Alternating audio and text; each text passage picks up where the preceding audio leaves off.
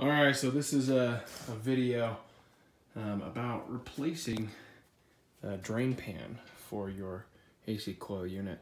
Um, I'd had two AC repairmen out here to take a look at it, and uh, I was developing some water leakage there, and both mechanics um, or technicians suggested a new AC compressor outside. Um, so they quoted me about six grand for a new AC compressor. Um, I have no experience in um, HVAC or anything with air conditioning units, and so that, that kind of freaked me out. I had no idea that something like that would be caused by an old compressor. So I started doing some digging, tearing things apart, and uh, I noticed that I've got a giant leak there, and which caused corrosion and breakage actually in my drain pan. And so I decided that I'd just order one and try it out myself. So I've um, I found one online. It took me a little while to find it actually, um, just because you have to find the model number for your coil specific to your coil. But if it fits your model number, that doesn't mean it'll necessarily fit it has to be the same dimensions too, because sometimes the model number comes with different measurements. Um, so I made sure I found the right model number uh, and dimensions for the pan.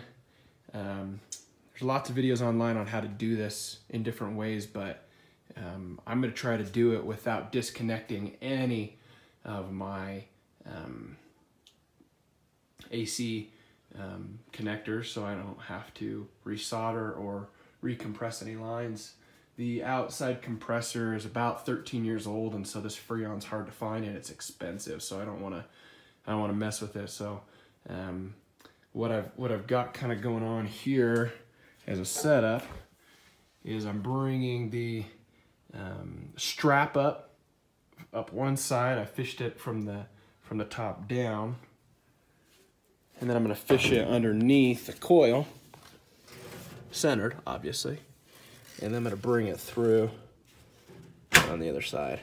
So the idea is I can attach my ratchet strap to my 2x4 there and bring it up here to my stud um, floor joist. So um, the idea is to hold it up so I have enough time to be able to crank this up just a little bit so I can get a new pan in there. Um, so we'll see how it works. All right, as you can see, I've got my ratchet strap coming up on this right side of this coil. Not touching any of the coils. Um, coming in just a little bit on the right side. Coming up in the middle and then crossing a little bit on the left side on that back. Coming through the back up to the top here. And then attaching up at the top. Um, so I've, I've used the ratchet strap to hold it up. I've cranked it up and I've got some clearance there. I'm actually, if you can see, I've got enough clearance to where I can almost get that off, but it's actually starting to pull this pan. And so I actually have enough clearance on this side. It's just that other side I'm, I'm working on, but it, uh, the ratchet strap seems to be doing its job and picking it up and holding it up. So we'll keep you updated. Okay, well, I was able to get the uh, ratchet strap enough to pick it up to be able to pull this side panel off. So as you can see, I've got the side panel off over here. Um, it just pulls around from the back. So I've got the ratchet strap on both sides to stabilize it a little bit for now. I put just a plastic Tupperware container under it to keep it level. Um, I'm not fix finishing it tonight just because my part's not supposed to be here till tomorrow, but um, I just figured that that was a good way to rest it. Um, so it stays at the right height it needs to so that nothing gets damaged there. But just kind of show you a perspective of what this thing looks like. There's my crack um, that was there originally. This was all corroded. Um, it snapped off in the process of taking it off. But also, there's a crack on this side right here. That crack is original, not from uh, me taking it off. Um, but then there was some corrosion there which caused that to snap taking it off. So a bunch of cracks in it.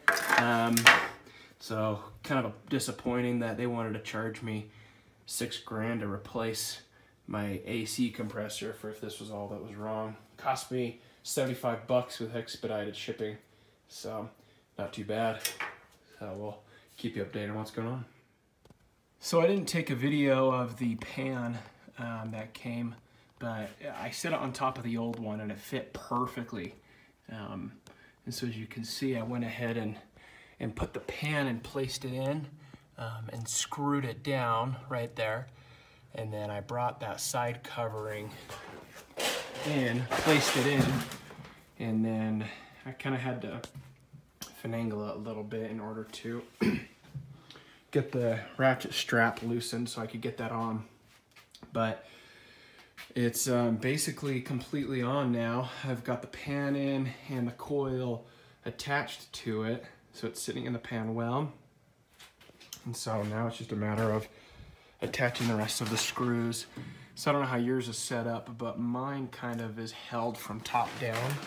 So I had to make sure I get had all these top screws in before I could let it freestand. So it took a sec to kind of get it there, but it's um, it's all good. So I'm, I'm ready to prove those uh, HVAC guys wrong. All right, my carrier furnace air conditioner system is is taped back up and uh, it's been tested. It's still cold, so my um, lines didn't break. My condenser still works. Everything, coils are great, and uh, it's uh, draining out through my drain, which is a good sign because I wasn't doing that before. So everything worked, and uh, there's how to do a $70 fix for a uh, dripping furnace.